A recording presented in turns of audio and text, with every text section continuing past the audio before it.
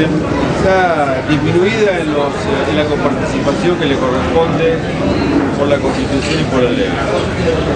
Y por lo tanto nosotros hemos agotado en nuestra gestión de gobierno toda la vía administrativa y recurrimos a la Corte Suprema de Justicia de manera que el papel nuestro de confrontación cuando no nos dan lo que nos corresponde, lo hacemos en el lugar que corresponde, que es el único lugar que puede un Estado subnacional recurrir a la justicia contra el Estado federal, que es la Corte Suprema de Justicia.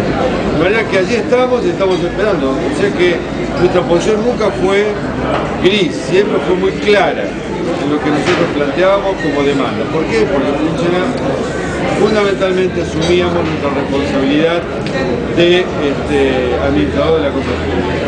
No es dinero de una persona o de un municipio, sino que es dinero de todos los santafesinos que se le está haciendo. De manera que ese es un planteo que lo tenemos absolutamente claro. Todo lo que depende de la ley hay que esperar que lo resuelva el Poder Legislativo. Porque hay una gran confusión en el país. Por eso nosotros planteamos el tema de la institucionalidad. Es necesario ver que la República se sustenta sobre los tres pilares fundamentales de los poderes. Y por lo tanto, cuando un poder ejecutivo se encoge de hombros ante una recomendación del poder o de una decisión del poder eh, judicial, evidentemente que estamos haciendo de arriba para abajo el peor de los ejemplos, que es el de la impunidad. Y por lo tanto, el que puede arriba, ¿qué va a poder hacer abajo?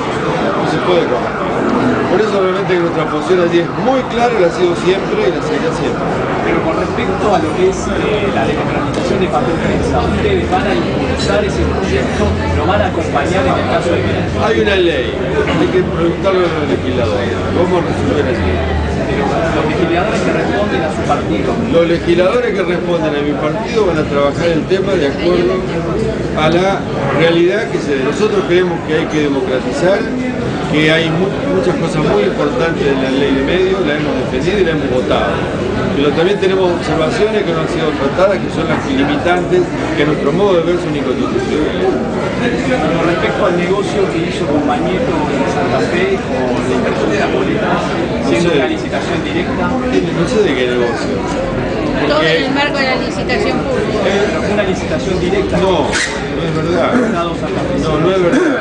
Hay una recomendación de la. Porque hay muchas mentiras que están dando vuelta, ¿no? Mientras no denuncien en alguna cuenta en Suiza, fenómeno. Pero estos son menores. No estás exento de que te pase. No está exento. Bueno, pero hay muchas mentiras en todo eso. Porque cuando se instala la, la boleta única por ley, el propio Tribunal Electoral dice no hay tiempo para llamar a una licitación pública. Entonces el Tribunal Electoral, que depende de la justicia, no del Poder Ejecutivo, decide que hay que, con- que convalida el llamado a concurso de precios entre todos los proveedores inscritos del Estado. Proveedores que vienen de hace tiempo. Se saca así la lista de proveedores, se llama a concurso de precios y se este, establecen los precios. Se les pidió mejora de ofertas y los dos grupos que habían calificado mejor en un acto público donde salieron los sobres de la mejora de oferta, adelante de la gente, adelante de los periodistas que fue filmado en el momento que se abrían los sobres que traían las propuestas y adelante el escribano mayor de gobierno, se abrieron los sobres y las dos empresas habían bajado un millón de dólares cada una. ¿Se da cuenta? Un millón de dólares.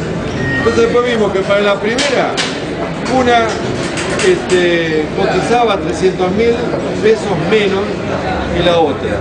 Así que contratamos la primaria con una empresa y la secundaria con otra empresa para ahorrar 300 mil pesos más. Y esto también fue hecho ante escribano público y con la presencia de todos los periodistas. Entonces,